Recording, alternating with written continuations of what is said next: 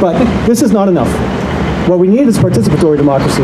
We need those voices in business and right, and on the right side of the camp, and, and, and on the left side, and everywhere in between. We need those to be more engaged, not less engaged. That is what we suffer from. Uh, and for us to have a much more robust process of engagement, certainly.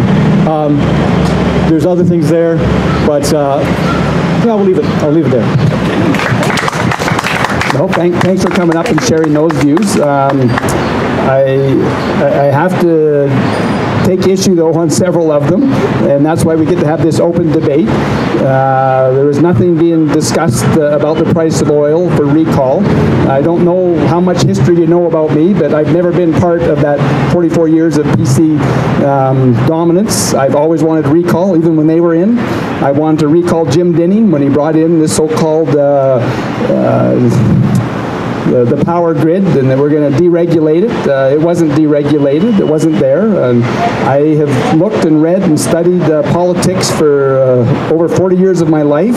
And the fact, uh, accountability once every four years, sir, isn't isn't accountability. That, that's a free-for-all, and it is. It's absolute power for four years, and they, they impose their ideology on us or their uh, agenda, whatever it is, and there's nothing that we, the people, can do. And once every four, four years is why I believe when you say people aren't engaged, is because why bother? Why waste my time? And why vote once every four years when the day afterwards they can break their promises and there's nothing I can do? I actually think, and I agree with you, I understand, we need to raise the level of participation. We need to have every voter think that, wow, my vote counts. I can make a difference. One of the other things that when I was an MLA, I went to, I was on the, uh, the members service committee, and one of the things that frustrated me was how they uh, actually uh, well, divide up the money for re research in opposition parties. And one of the problems and one of the things that I presented to the member service was the fact that I think that every Albertan who votes, whether it's for the Green Party or whether it's for the Wild Rose or the NDP or anything in between, that that opposition caucus should get $5 for every vote that they get across the province because some of the areas I was running, people say, oh, there's no point in me voting, I'm an NDP, and my vote doesn't count for anything. But if we actually had a system to where the opposition, the NDP, oh, they're going to get $5 to their research budget, my vote counts, and numbers count, it makes a difference in participating in democracy. And our system is set up such by whoever's in power, I don't care whether it's the left or the right, they want to uh, put all the difficult situations possible to oppress the people to have any desire to get out and to vote or to make their vote count. And there's lots of ways that we could be innovative to make votes count. Um, I also think that what you could have is the opposition parties, each, like, uh, I'll go back to the 2004 election. My numbers are probably rusty now, but I think Ralph got like 480,000 votes. Uh, Kevin Taft had like 240,000 votes. You had Brian Mason with 80,000 votes, and you had uh, the Wild, uh, or the Alberta Alliance with 72,000 votes. Um, I sat in the opposition, and there were many times when the Liberals, the NDP, and the Alberta Alliance were opposed to the government. And if you were to actually have two votes in there, once with the elected representatives, and then a second vote by the leaders of each party they represent for the number of Albertans in order to pass a bill, we could have stopped the Conservatives on many accounts because we had like 502,000 Albertans vote for opposition and only 480 for the government. And so there's lots of ways that we could actually have participation and people realizing, wow, my vote counts. I need to get out there so that uh, Kevin Taft has 240,000 votes for the second vote for the overall vote of Alberta. And, and those are things that if we want to talk about improving democracy, we absolutely could. Today, right now, what I'm worried about is holding governments accountable. There's nothing that bothers me more when I hear the opposition saying, oh, we're holding their feet to the fire. Aren't we doing a fine job? And no, these guys are all firewalkers. It doesn't bother them a bit that you're going to cost them say all these nasty things because they still uh, get to vote and on they go. And you can say, oh, it was wonderful. You know, we got to hold their feet to the fire. No, holding their feet to the fire is being able to actually fire them. We hired them, we want to be able to fire them. But anyways, I, I hope that answers a few of your questions and things that we can go. But, but recall, it needs to be constitutional that only the people can rescind it or amend it. And maybe we want to amend it so only 40%. Maybe we find that we people really we need to be 60%, but only through the will of the people, never put it in the hands of the legislature to change or alter that any more than a constitution. Thank you. Well, that's uh, very interesting. Now I'm going to play devil's advocate a bit here, and and I'm wondering now, couldn't this be used by opposition parties just as a ploy to bother the government, get in the way, and prevent actual progress from going forward? Like, you know, sometimes governments make a decision. In the end, it turns out it was a bad decision, but you make the decision and you go forward because at least there's some form of progress. So wouldn't we possibly have kind of a circus happening with, uh, you know, especially when people are doing a lot of backroom dealing and going, I know, let's recall them on this issue, when perhaps there's actually no real reason to, but it's just a great way to frustrate them. Another one of the ex excellent, uh, what would I say, this reasons on why we why we need to look at it closely. And again, it kind of goes along the line of the instability. You know, can you create that? Uh, first of all, one of the problems I feel why we get such uh, divergence in our opinion is is that we have two views often, whether you want to call it the left or the right. Um, big government versus small government. And what happens is, is that the pendulum always swings too far, in my opinion. You get the extreme on, on the right or the extreme on the left. And at that point, you get people that react. And like I say, that you, you made this comment that the conservatives never did put it in. Well, I, I brought that legislation forward, and uh, they were adamantly against it. Uh, now, even now, there's many conservatives before the UCP came together that when they were in opposition and the Wild Rose brought forward, they argued against recall. And so it, it's not just, you know, this rebound effect that, you know, I'm mad and I want to go back. To me, it actually reduces the pendulum from swinging so far. You don't make such extreme promises, but it's a, it's a valid concern. Um, is it going to create that instability? Are people going to get upset? But I think until we've tried it a few times and we realize that, oh, this isn't working or that we need to raise the number of people to do it, um, I, I don't believe that if we actually were allowed to exercise recall that we would find that that would be a result of it, especially when I'm talking the 50% plus one. If you're talking 10 or 15 or 20%, I absolutely agree. I, I, don't, I would rather have no recall than to have a minority that has that power to put us into that chaos and no progress ever being able to be accomplished because a small minority don't want to allow what the public good might be in favor of. Now, you had another comment, right? have Did you want the mic? Yes. should come behind Yeah. the things of. Again, I just wanted to uh, say, um, in principle, I think is a good idea. Um, it seems to be working really well in Venezuela. They've had about 16 um, elections over the last uh, 15, 16 years. Uh, how, how, however, when we live in a society where there's the dictatorship of the marketplace and economic power buys political power, you get a situation where there's no equality of opportunity, no equitability of outcome. So in such a situation, you often get special interests who are tied to big business. So my big concern is groups like the Worldwide Coalition Against uh, Islam uh, that, uh, you know, friends that come out to these events actually support, putting forth a recall to make our society more exclusive, uh, you know, more hateful. Or Arthur Pawlowski and his uh, band of bigots that uh, recently got violent with some, some folks down at City Hall. Um, I'm worried that his ties to, to to big, big, big money is, is big.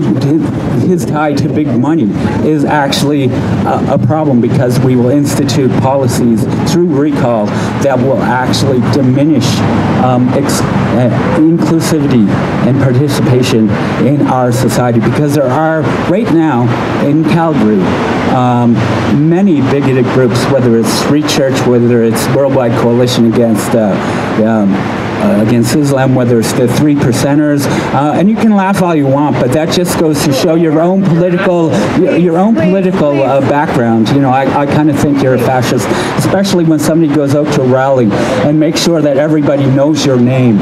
Everybody on the opposition knows your name every time they go. That makes it unsafe for that person. I, I, I feel it's very problematic when people actually talk to people like that. But anyway, okay, I'll get to the point. Yes, let's not make any personal attacks. Is, is that, well, um, yeah, when we have seven, eight bigoted groups that are tied big money, tied to politicians, tied to political parties, because these people from WCI, these people from the three percenters, they actually volunteer for the Wild Rose. They volunteer for the United um, Conservative Party. And when you have those people having such a strong influence already in society where the dictatorship of the market doesn't allow for equality of opportunity and equitability of outcome. You get a situation where if you have recall, where their own vested interests of bigotry and hate um, are, are given a platform to influence policy in our society, and that is very, very dangerous. I, I appreciate you uh, sharing your view again on that, but I, I actually think that if you were to review it, or if we were to actually have it, that you'd find it would be just the opposite. Tho- Those extremists at the five or ten percent that are trying to impose their their lifestyle on us, or whatever it is, would actually realize that they're not a majority, and I think it would be the counter opposite of what you're saying there. I think that our we would be uh, much more at peace and uh, I would say respecting different groups and what their wishes and what they want to do. And I think that recall would actually, like I say, it would bring us more together. It wouldn't be more divisive because it's those small groups when they go out to try and recall and do something, they realize that wow, we only have five percent of the people that are supporting us. And then that other part, part can say, well, you know, you you've tried. You you don't have a voice to recall that, and it would give more strength to the cause than, than undermine it. I believe.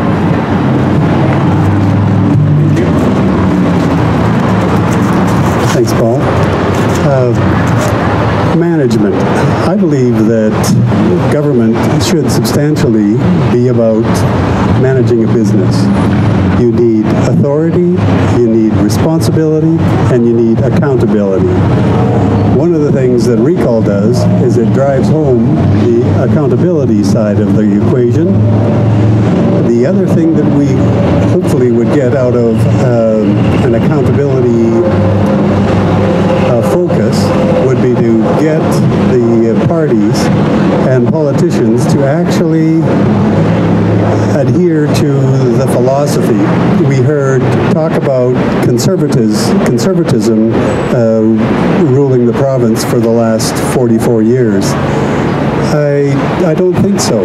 Um, when Ralph took over in 92, um, he then showed this sign in 2004, that, that banner said paid in full.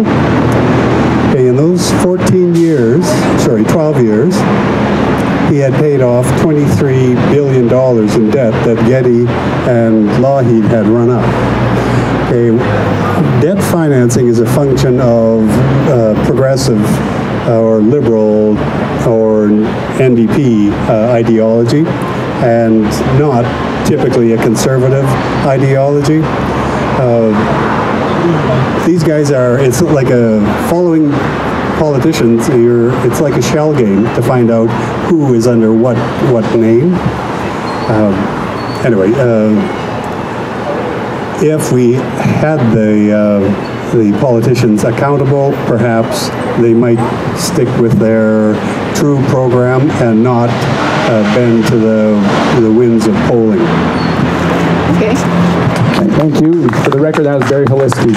And uh, again, to, to, to come back to it, what, what this is, is this is about a new level of democracy, a new level of accountability, where the power resides in the people, where when there's a group, an activist that, that want to be active in changing social policy, whatever it is, there's actually a, a, a mechanism to do it.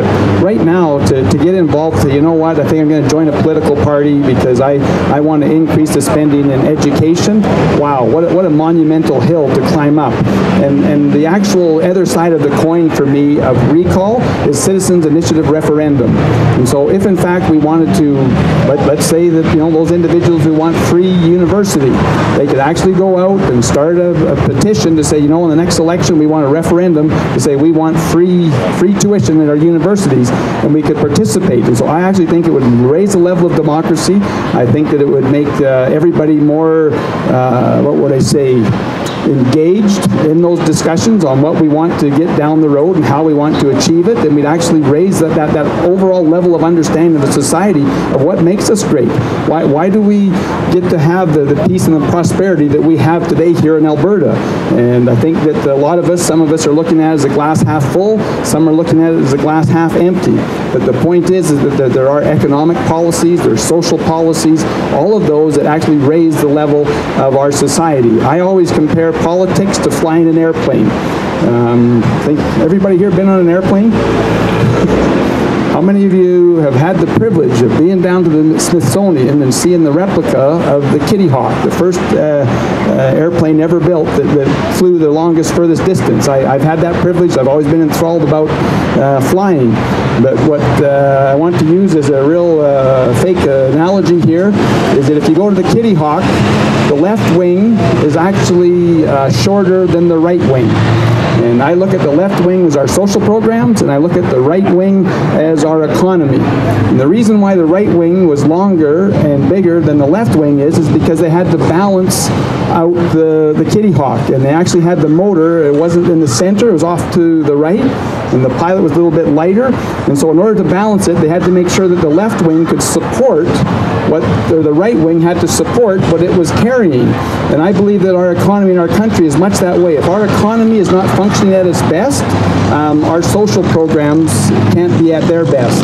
And in order for our social programs to improve and for our education, for our health care, for our senior care, in order for that to improve, we need a robust, uh, growing economy that's the best in the world. This is a world market. You can say what you want. Maybe the United States can shut its borders down and survive, but boy, Canada and the rest of the world can't. China's another one that could do that, but, but we need to be able to compete on the world market. We need sound economic policies that protect our environment, but allow economy to, to boom.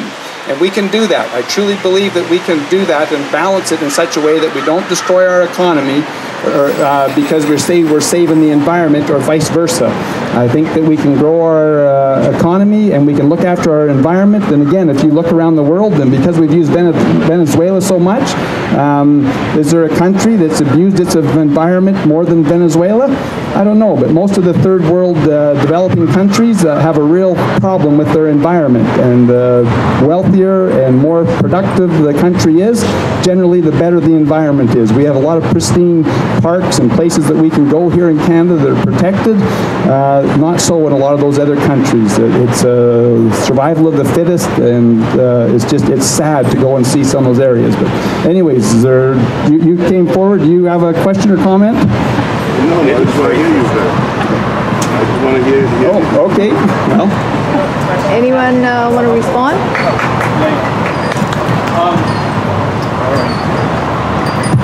I much prefer talking in a circle. This is a lecture.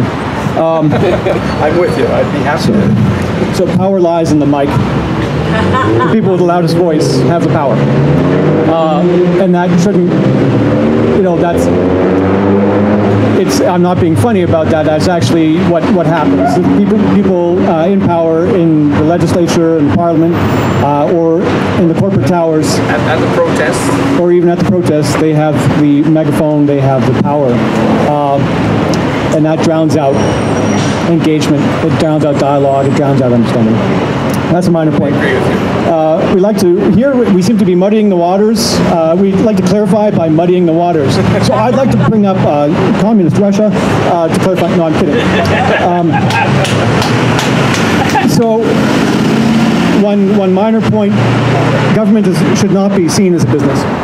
Um, and this is a, a, broader debate that we ought to have, uh, maybe not now, but government has a different mandate than business, and it should. Government is responsible to uh, outcomes that are social, uh, well, political, obviously, economic, uh, environmental, um, and economic. These outcomes uh, are not tied to what is profitable. If they were, then I could say, well, look, healthcare is unprofitable, let's cut that out let's just focus on making donuts and making cheap donuts that we reheat in ovens so they taste like cardboard, like Tim Hortons. So that would kind of suck to live in a country where government treated me like a Tim Hortons donut, or sorry, a purveyor, a, a consumer of Tim Hortons donuts. I feel like I am cast out of that business decision and I suffer from it um, because I have no other donut to get. And it sucks. Start a donut store. yeah, well, That's what free enterprise is about, is to produce a better product that, that we get more people coming to. maybe, yeah, I don't really want to do. available, but we- maybe we don't want. Yeah, I, I, I want I want governance, not a donut store. Yeah. But Well, then we start a new party then. yeah, so um, what what was the other stuff? It was um, again again we if we're looking at a lack of democracy and participation in democracy, something you were talking about earlier. Um, a participatory democracy, it takes a while to get there. It's going to be many iterations to get to a full-on participatory democracy, if that's what we think is desirable. And I think it is, and I think we can get there. And it doesn't look like having political parties. And it, it, it looks like not having corporate money in politics, or union money, um, or money. Uh, really, it looks like we're invested in it. But how do we get there? Electoral reform is one way. It's a, it's a very uh, liberal, not a small L liberal. It's a reformist way to get to a participatory democracy is electoral reform. Uh, getting rid of first past the post, having more voices at the table, and yes, perhaps having minority governments. Then we have to agree on things, or at least agree to disagree on things and move forward. It's messier, but it produces perhaps better outcomes. Uh, in a business analogy,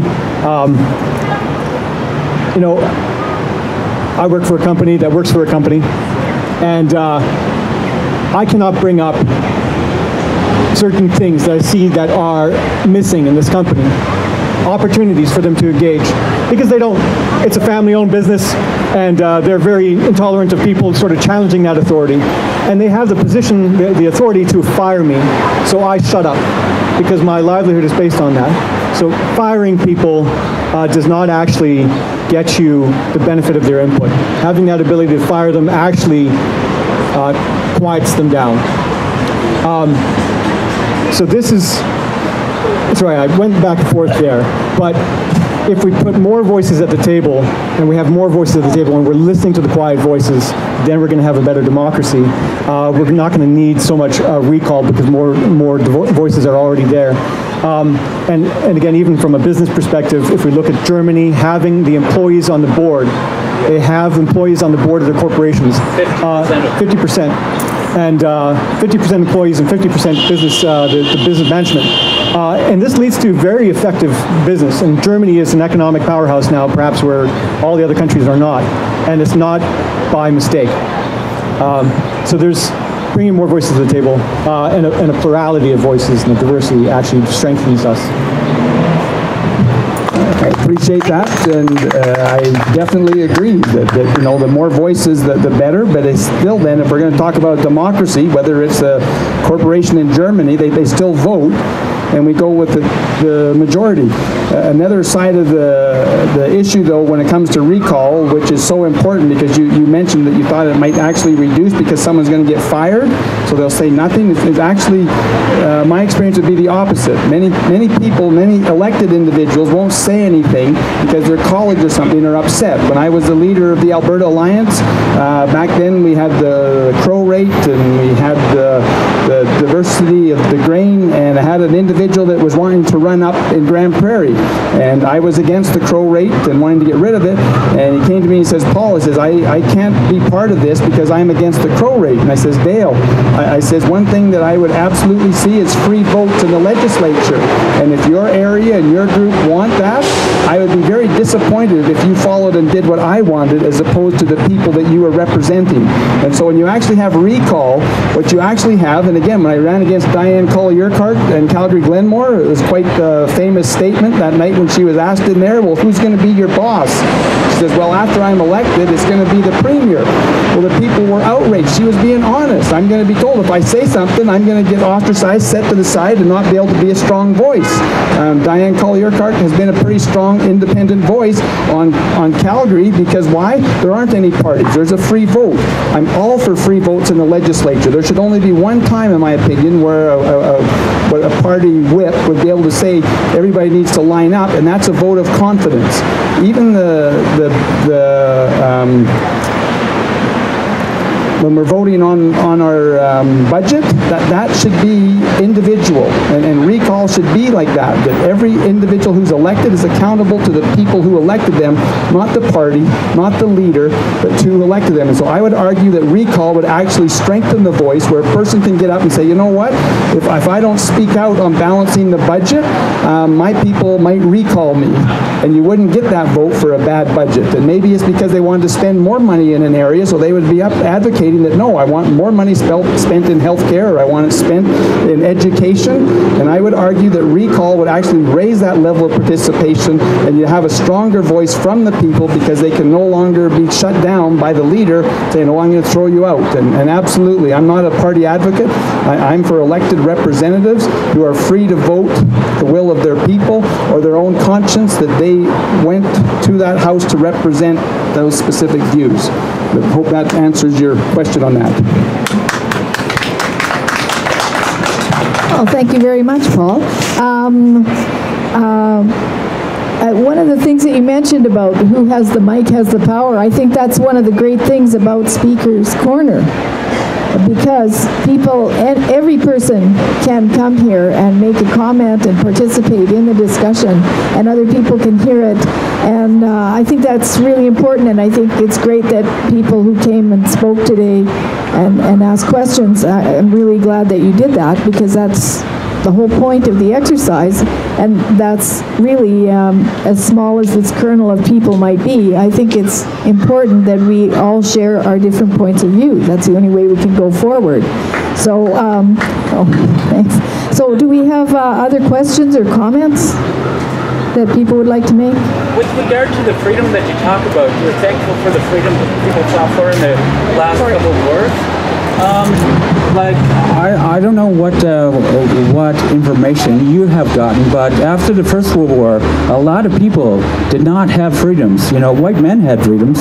After the Second World War, gay and lesbians didn't have freedoms.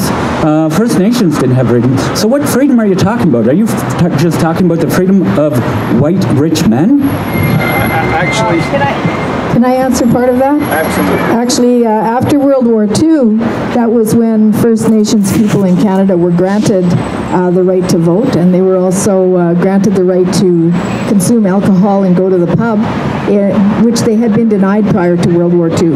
Um, and people said, hey, they came and fought with us in the front lines, give them the freedoms that we have. And um, I'm interest, I'm reading a very interesting book right now about after World War One. There was actually a shortage of men. So in England, there were two million women who would not have husbands, and uh, because there just were no men. And so women began to make their own friendships. I believe that at that time also lesbian relationships flourished because people perhaps had that desire in the first place but had no social outlet for it prior. You know, there was no social authority that would be granted to them. But after, people saw, wow, these people have no one. You know, why should you be a woman alone if you can't have a friend of some kind, whether it be an intimate friend or just a friend? You know, so I think that gradually those freedoms have come to people, and I would also say that as a career woman, there was no opportunity for women to be terribly involved in many things in the world prior to modern day reproductive technologies and, and the birth control pill. Uh, although we can look back at 1923, was it, when the fi- famous five got the the right to be women were decided to be people. So uh, you know, I think that these social changes are a progression. I don't think that it's necessarily that you know my white grandfather who homesteaded in Fenner, Alberta. I don't think that he said to his wife, "You have to stay here in the house with the kids." It was an agrarian relationship. It was agrarian feminism, where the woman said, "I want children. I want to raise them, and I want to have a nice house, even though it's a, a you know, um, uh, maybe a, a log house or a very shabby little shack. But I will take care of the cow and the milk cow and the garden and the children and stay here at the house all day and do the laundry and do all those menial tasks while my husband is out in the field with a yoke of leather around his neck, pushing a wooden plow behind an oxen, because that's how my grandfather was working all day in the field. You know, so it was the context of the time. There was not the technology to free either party. So men were tied by a yoke around their neck to a cow or an oxen, and the women were tied by apron strings to their children in the house. But actually, technology liberated all of us from all of that. And now we can make many different choices. But I thought it was the two wars that liberated us, not technology. Well, th- that too, because of the changes. You know, there are many technological advances during war. That's one thing. There were many medical advances during both wars. All wars, there's huge medical advances because you have to save people on the front line. There are many technological advances, and the changing roles of men and women through both of the most uh, famous World War I and World War II are very significant factors on how society changed, especially in the West. Um, so they're, they're, you know, but it is a combination of things. It's not just one thing, of course. Anyway, Yet how the world would be if that sorry. You're saying fascism had Let- Yeah, I, I'm going to comment on that, Merle. I'm, I'm going to comment on that. And, and again, I, I realize that it's always, you know, the cup's half full or half empty, and you might feel that it, it's half empty or maybe almost empty. But boy, if, if Hitler would have dominated and been a Genghis Khan and, and conquered, you know, 80% of the known world, we would not have the, the freedom, the safe, or the prosperity that we have today, in my opinion. And I think that he was a tyrant. But let, let me just finish and that there, there's no question the benefit, the, the peace and the prosperity that we have today is because of, of the men and women who put their life on the line to, to fight the oppression and the dictators that, well, thank you. Many communists and anarchists and the partisans too. All, all of them, but, but the point, the point is, is that First of all, you, you as an individual have the right, being a Canadian, to, to leave and to go to one of those places that, that you espouse is so wonderful, whether it's Venezuela or whatever else. But I, I can't think of anything worse. Like you think of the people, and if you read any of the books of those that have escaped from North Korea or Myanmar, uh, there's just atrocities going on all over the world, and, and we do not have to suffer like those people do. North And- Korea, their rights are being given by who? Who are the rights North Koreans being taken away by? The military or by the people fighting the military? Well, I, I'm not going to. I'm not going to get into that debate. But, but go there. You, no, no, no. Seriously, go there, and you can be. Who's our Who's our bas, Who's our basketball guy? Uh, Rodney. Actually, was prevented from speaking freely, and who were they prevented by? This is a lesson in history. I understand you want to defend the defenders of us, who are the military supposed but it is not true. It is not entirely You think North Korea is a great place to live? It came from people that burned alive in the Triangle Shirtwaist Fire. It came from people that were prevented from organizing by militant groups supported by industry. Rights Let, let, let, me finish responding, then you can have your two minutes on, on, on that. But, but the freedoms that we enjoy, I believe, are second to none in the world. And anybody who wants to move and live in North Korea or Myanmar or any of those places, I say you're free to go there and, and exercise your democratic rights and try and change those places. Th- Then stay, but, but don't but don't try and preach that one of those areas is better than ours or more democratic. It's it's not, and and it's someone uh, that, that's hallucinating on some sort of narcotic to think that that's a wonderful lifestyle to go and live under a dictator or a tyrant or